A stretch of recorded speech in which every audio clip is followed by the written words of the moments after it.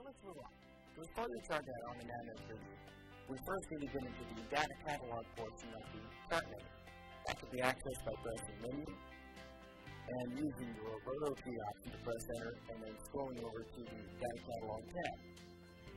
The data catalog portion of your chart menu gives you access to the system ID number, which is a 20-digit number unique to your NavNet 3D system. It's generated by the master and given to all the other displays in your NavNet 3D system, and is needed when acquiring unlock codes from either your Furuno dealer or when registering online at www.navnet.com. In addition to the system ID number, the data catalog portion of the chart menu also gives you access to the total number of memory slots you have occupied.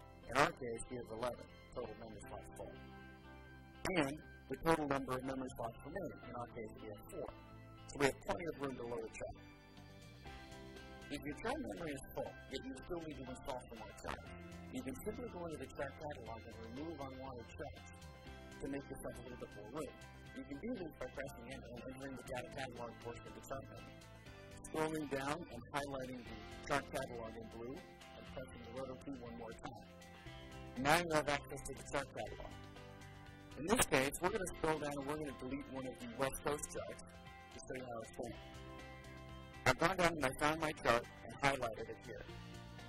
I'll press the RotoKey once and it will bring up a box that asks me if I want to delete the chart. I'll go and select yes, press enter, and now the chart is gone. Now I've freed up some more. Now I have five memory slots remaining and only 10 occupied. Now that we've freed up some memory, we can now load our chart in the machine. This can be done through the data catalog portion of the chart menu. Install the data, we first need to insert the SD card into the SD card slot. This is found on the keypads of black box units and on the faceplates for the 8 and 12 inch units.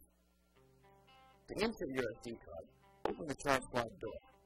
You'll notice that there are two SD card slots. We want to use the upper one for this. Since we've installed the SD card, now we're ready to actually install the data on the NavNet 3D library. This is done through the data catalog portion of the chart menu, which can be accessed by pressing the menu key, accessing charts, scrolling over to your data catalog tab, and pressing the RotoKey once to gain access to the data catalog portion of the menu. Once in the data catalog, use the RotoKey to scroll down to the Install Data button on your screen, and press the RotoKey once. A box will now appear informing you that the program will now exit and initiate the chart installation program. It gives you a yes or no option. Use the RotoKey to scroll over to highlight yes and press enter. Now the program will exit and initiate the chart installation program. As you can see here, the chart loading is now in process.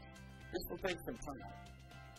Once the charts are finished loading, you'll receive this notification indicating that the chart load was successful.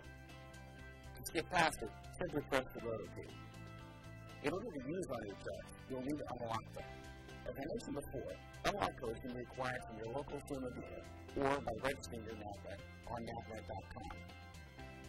To enter your unlock codes, you'll need to access the data catalog portion of the chart menu. This can be done by pressing menu and using the RotoKey to scroll down to select charts. Under the chart menu, scroll over and select data catalog.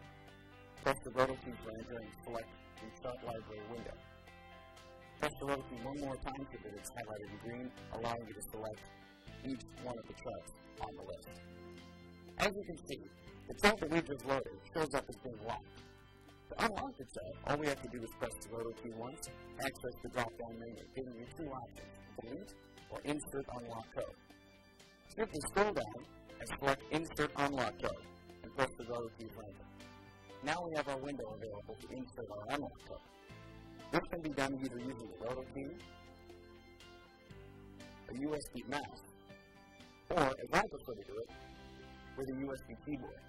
Once the unlock code is entered, you'll notice on the chart library that the status for our chart has now been unlocked. And now your NavNet 3D chart is installed, unlocked, and ready to use. For all of you black box users out there, software versions 2.0 and will allow you to use not only an SD card for chart downloading, but also the USB jump drive as well. The use of the USB jump drive will allow you to load multiple satellite photo areas on a single storage device rather than multiple cards, and will drastically cut down your load time. Thanks for joining me, and back to you, Jeff. Thanks, Clayton. You're well on your way now to becoming an expert with NavNet 3D charts. We taught you how to find the charts on the internet, how to download them, format an SD card, put them onto the SD card, and then upload them to your NavNet 3D system. It's important to remember that we are constantly updating the charts, the satellite photos, and the 3D bathymetric data.